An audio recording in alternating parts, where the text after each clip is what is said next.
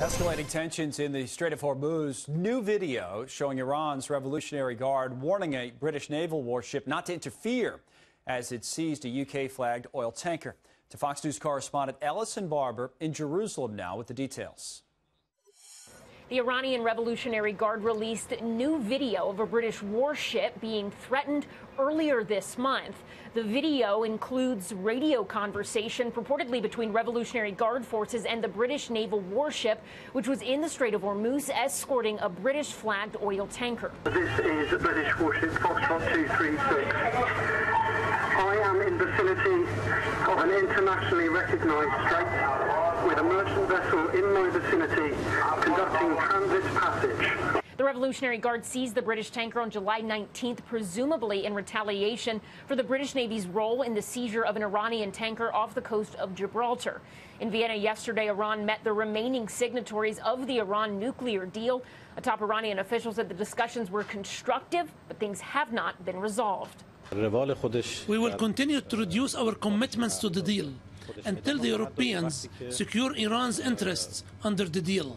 And Iran is reportedly planning to restart activities at a heavy water nuclear reactor. Back to you. Here now, Rebecca Grant, a national security analyst and IRIS founder. Rebecca, great to see you. Um, you know, you. a couple of weeks ago, Secretary of State Mike Pompeo said the Iranians said they were willing to talk. Uh, it doesn't seem like when you see a video like that, that that seems to be the case. Obviously, the situation is very dire, but where does it go from here? Well, the video is shocking because Iran is broadcasting that they are violating the UN law of the sea. The key word in that com there was transit passage. That tanker and that warship have the right to be there.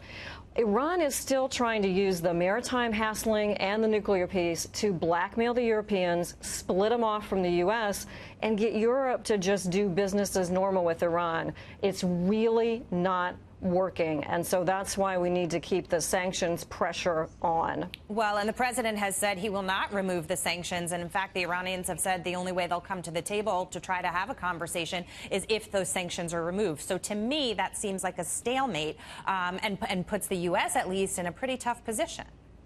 It is a tough position, and Secretary Pompeo has said, you know, it's not about the diplomats talking to Foreign Minister Zarif. Really, they are pointing this at the Ayatollah and at the Revolutionary Guard Corps military commander, Soleimani. Those are the ones with the wealth that are spreading terrorism around the Middle East. And they have to crack and make some movement there because, in the end, we can't reset our forces in the Middle East with this crisis level of activity by Iran.